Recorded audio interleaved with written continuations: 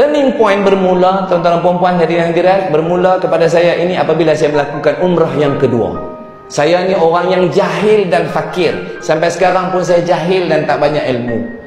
Ada orang dia pergi macam saya, ikut orang ke Makkatul Mukarramah. Apa kata mutawif kita ikut. Kata mutawif kata apa? Ada hadis Nabi SAW barang siapa bersolat dalam Masjidil Haram uh, gandaannya adalah seratus ribu kali ganda pahala daripada masjid-masjid lain. Barang siapa solat di masjid Nabi, kata hadis Nabi SAW, adalah seribu kali ganda lebih baik daripada solat di masjid-masjid lain. Oh, saya baru belajar, baru dengar. Dan kata mutafis itu juga kata, barang siapa bertawaf dalam masjidil haram, tawaf sunat ataupun tawaf wajib, atau tawaf sahaja, akan Allah turunkan 60 rahmat dari Allah. Barang siapa bersolat dalam masjidil haram, dapat 40 rahmat dari Allah subhanahu wa ta'ala. Barang siapa duduk saja tengok Kaabah dapat 20 rahmat. Saya ni orang jahil, orang fakir, orang tak ada ilmu. Nak sembahyang solat sunat, saya tak tahu solat sunat apa. Ha? Nak tawaf sunat pun kita penat. Nah, saya ambil hak paling simple, tengok saja.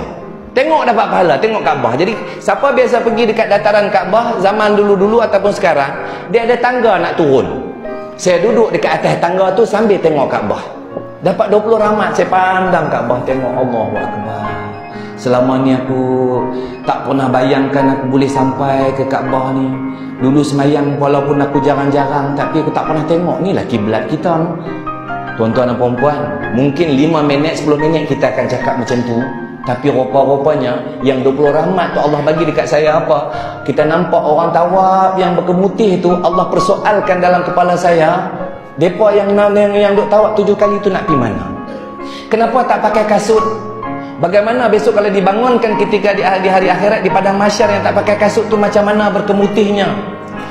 Dan bagaimana kepanasan yang kita tahan panas besok kalau kata dia di padang mahsyar yang orang yang tak ada amal nanti apa matahari satu jengkal atas kepala. Tuan-tuan dan puan-puan sambil-sambil itu tiba-tiba seorang anak kecil duduk sebelah saya.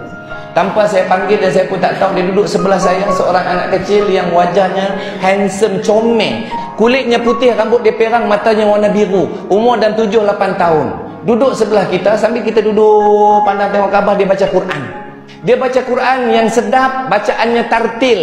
Bacaannya macam orang-orang dekat dekat Makkahul Mukarramah, macam imam-imam Makkah. Sambil-sambil dia goyang dia tengok saya. Sambil-sambil dia goyang dia baca dia tengok saya. Dia tengok Quran dia tengok saya. Dia tengok Quran tengok saya. Saya pun ada tengok dia hang ni pasal apa tengok aku kesiku juga kepala hang saya. Orang tahu. Kita dalam hati cakap macam itulah dalam hati. Nah, bukan pasal apa duk cakap pasal apa hang hang baca baca Quran depan aku. Tempat lain banyak kosong dia duduk sebelah kita. Rupa-rupanya tuan-tuan dan puan dalam hati kita ni ada sifat yang Allah bagi satu kita belagak sombong apa lagi ujub apa lagi? Ha, dia jadi main tu. Bukan rasa bang, bongkak pasal apa? Bongkak aku nak bagi tahu dekat hang. Aku dah hatam Quran umur aku 12 tahun dulu. Saya mengaji Quran umur 7 tahun hatam Quran umur 12 tahun. Nak bagi tahu dekat dia aku dah baca Quran. Hang sibuk baca Quran pasal apa depan aku? Ah ha, dia abang macam tu. Rupa-rupanya dia main dekat hati kita eh hang baca Quran. Tak apalah aku pun nak baca Quran. Kan saya pun ambil satu Quran. Hang tunggu aku baca. Kita pun dah lama tak pegang Quran. Langsung tak pegang Quran saya buka Quran pun lupa lah. Saya ingat baca macam baca surah abad. Buka daripada belah sini ke sini. Buka sini tengok juz amma. Saya ingat nak baca surah biasa-biasa. Inna a'tayna kal kausar. Alamak tengok tiga ayat. Malu ke dia. Dia baca surah panjang. Saya pun gostan balik. Baru teringat balik Quran buka kat sini. Bila buka kat sini tuan-tuan dan puan saya mula baca Bismillahirrahmanirrahim.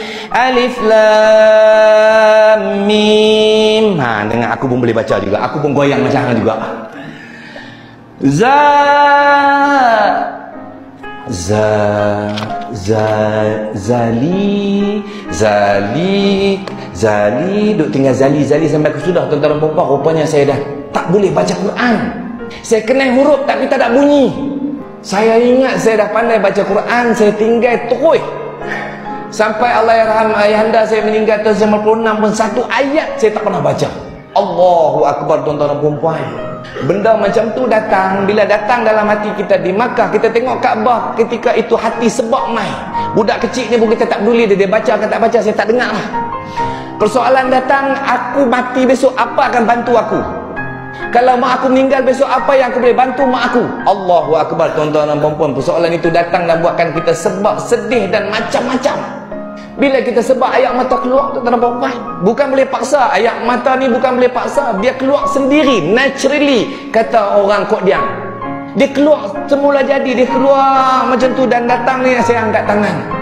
Angkat tangan berdoa pada Allah SWT. Ya Allah ampunkanlah segala dosa-dosaku ya Allah makbulkanlah doa-doaku yang pertama ya Allah aku nak kahwin ya Allah yang kedua lepas aku kahwin ya Allah bagi aku anak yang soleh dan yang soleh ketiga ya Allah aku seronok beramal dekat masjid dekat masjidil haram ini dan aku boleh kalau boleh ya Allah aku nak rumah dekat masjid yang keempat, Ya Allah, aku tak boleh mengaji. Anugerahkan aku kembali mengaji macam dulu-dulu. Itu empat doa saya yang buatkan saya turning point sampai ke hari ini. Satu persatu Allah makbulkan doa saya. Saya pergi umrah tahun 2001, 2004 saya kahwin. 2005 saya dapat anak. 2006 saya pindah rumah. Saya pun tak plan dan saya pun tak tahu. Rumah yang saya beli itu betul-betul depan Masjid Al-Hasanah, Seksyen 9, Bandar Baru Bangi. Dan doa saya yang keempat, saya nak mengaji. Saya dapat dengan guru saya tiga orang. Saya belajar tiga orang guru. Guru saya yang pertama Al-Fadil Ustaz Nafiah Sarani guru saya yang kedua Ustaz Termizi Abdul Rahman. Dan guru saya, saya yang ketiga Ustaz Muhammad Rodi bin Rejab